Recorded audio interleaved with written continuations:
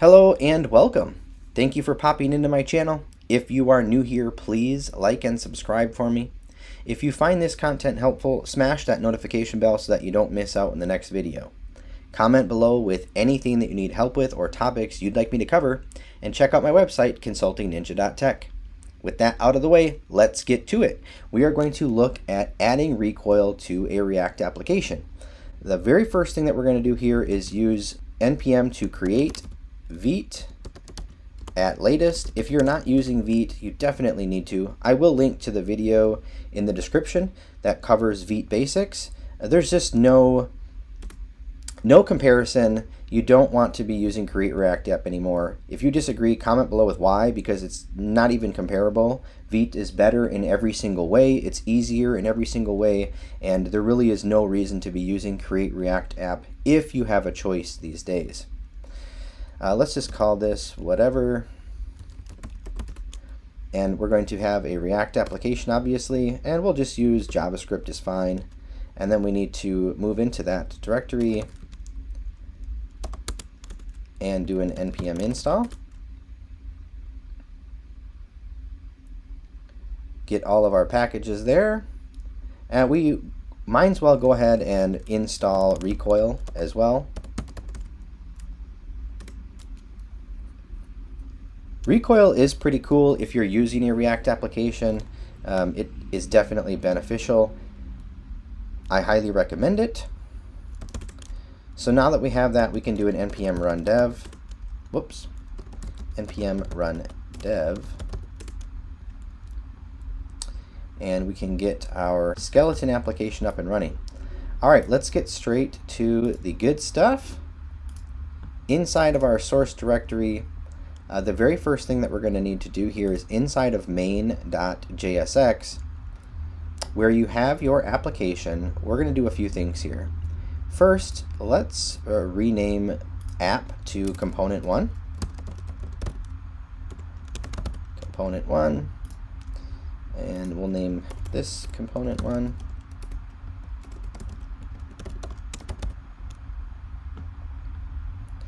We are also going to need to import import recoil root and this should be in brackets recoil root from recoil. And then we need to wrap our application in th that recoil root. So just inside of the react strict mode let's add our recoil root. And then all of our components for our app, our entire app, will live inside of that. Alright, we are off to a good start. So now, in our app.jsx, whoops, let's go ahead and rename this to, you guessed it, component 1. We can update those imports we need to rename the function to component1. We also need to rename the export default to component1. We can get rid of, just get rid of the two p tags out of that file. Let's add plus recoil plus consulting ninja. Like that. We are going to get rid of use state. And what we're going to do instead, let's go ahead and create inside of source. Let's not save these files just yet because we're going to need to make some more modifications. Uh, inside of source, let's create a new file called state.js. And inside of state, what we're going to do is we are going to first import Atom, like that. And then while we're here, let's go ahead and add selector as well. We'll come to that in just a minute. And then let's make our first recoil atom. So in order to do that, we do export const. Let's call this recoil count. We are going to use the same basic demonstration logic. We're going to have a count, except for instead of using local state, use state, re react use state, we're going to be using recoil. Uh, and there's two different kinds of state. There's atoms. Well, actually, there's a few different kinds. There's also atom families and selector families, but uh, those are fairly advanced topics uh, beyond the scope of this video. Uh, we are going to use two types of state. Atoms, which is just a single piece of state, and then we're going to use a selector, which uh, takes in one or more atoms and then derives its state from those, and we'll go through that in just a minute. But the first thing we're going to do is just create an atom, and it's a function that has this object, and it needs a key. The key needs to be unique to your application. Let's just call this count and then a default value if you so need. So just like that. Now let's save this file now. And inside of component 1, let's go ahead and import use recoil state from recoil. And then we also need to import that particular atom, which we called recoil count. So let's go ahead and do that as well. Recoil count from dot slash state. Now here where we have the old use state already there, what we can do is we can actually just copy this use recoil state and paste that over top of the old use state. But what use recoil state takes as its argument is not the initial value, it's the atom that you create in your state file. So we can copy that recoil count that we're importing there from our state file. And now let's go ahead and give this a save. And back inside of main.jsx, we'll add the rest in just a bit. Let's go ahead and save that. And we can just play with this for now and see what's there. So there we have our count and our button is hooked up. And when I increase this, you'll see it goes up. So pretty cool. That's very similar to what useState already did. But now let's go ahead and copy component one, copy, paste it into the same exact directory, and let's rename this component two.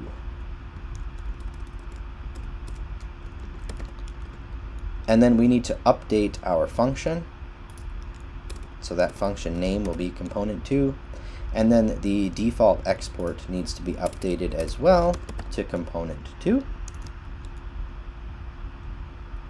right and here let's go ahead and get rid of all of the logos out of here we don't want that. And let's go ahead and get rid of the h1 as well. Let's just have a paragraph that says I am from component 2 and we can get rid of these imports for the logos. And we are still going to import that same atom and the same state and save that. And inside of our main.jsx, let's go ahead and bring that new component in. So let's import component number two from dot slash component number two and then add that to our JSX just below component number one.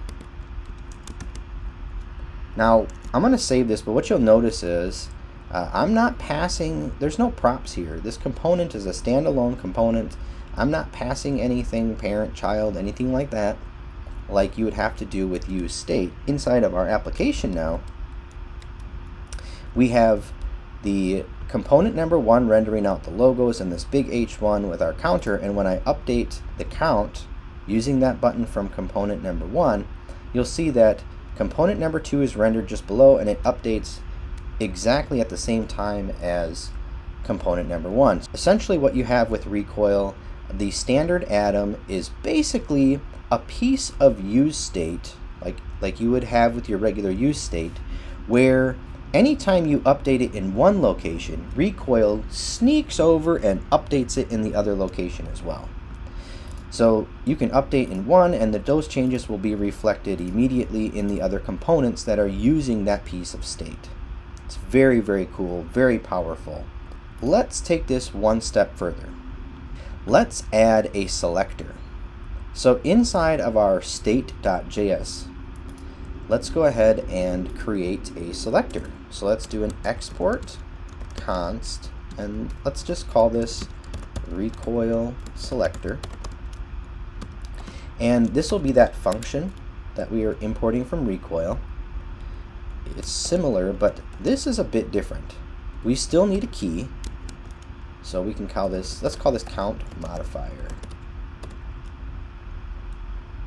And then the second item in this object is where things start to change. This is going to be a get. And what this is going to be is a function that takes the get object like that. And then we'll go ahead and fat arrow this over. And then what we're going to do is take that count, so const count equals, and we're going to get that value from that atom. So we're going to go up here, grab the value from that atom, and now we can make use of that in this selector. And you can do this with as many atoms or selectors that you need uh, in order to derive your state. So this is going to be a pretty straightforward example. Uh, let's just go ahead and return count times 2. Like that. Give that a save. And inside of our component 2 now, let's go ahead and add another piece of state here. Import that. Let's do a const modified count equal to, and in our import, where we're importing use recoil state, let's add use recoil value. And all we're going to do is read the value. That's why we're using use recoil value instead of use recoil state. We're not going to update this at all. From here, we're going to just pull that value in.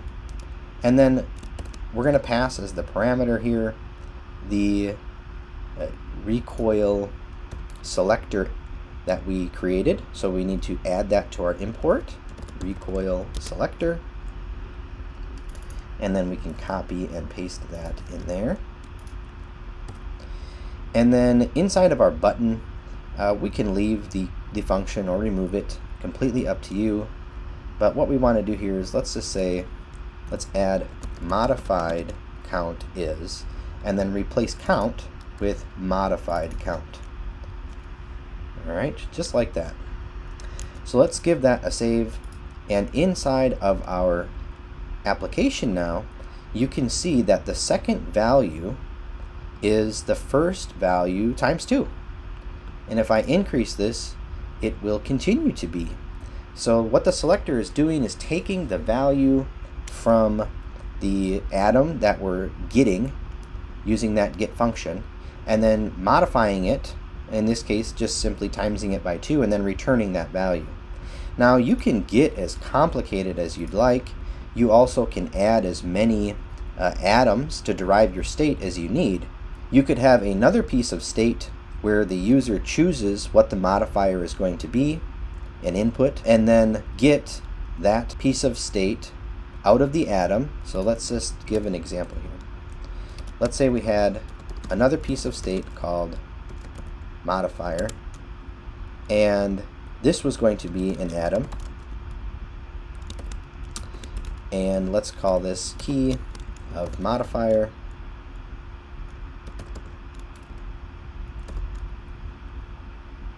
modifier. So let's change this to modified dash count. And this would be a default of whatever you want. And then add that here. So const modifier equal to get modifier. and then you could return count times modifier. So let's go ahead and save that and inside of component 2 let's add our new atom modifier and we're going to need to copy and paste this let's call this mod and set mod. And we are going to be using state so we want to use recoil state. And then inside of our div, let's just add an input. Type equal number. And what we want to do here is make the value equal to mod. And then on change, we want to set, just like we're doing, just like we're doing here. So we can copy the inside of that. Oop, just the inside, not the bracket on the end.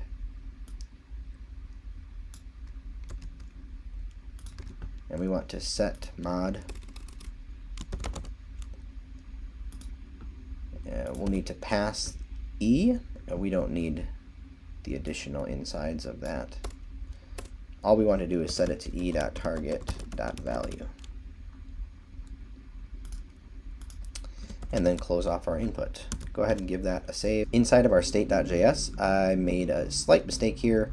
We can't actually have that be the same name, obviously. So let's just call it current modifier. Current mod or current mod is fine like that. And now we can set. So our current modifier is 0, so 2 times 0 is 0. But if I increase this, uh, you'll see that that goes up exponentially. And so now our selector is pulling in two different pieces of state, the original count and the modifier that the user is choosing, and then returning that modified value here. So that is atoms and selectors basic functionality. I hope that you have found this video helpful and cool. If you did, comment below with your thoughts, like and subscribe, and as always, have a great day.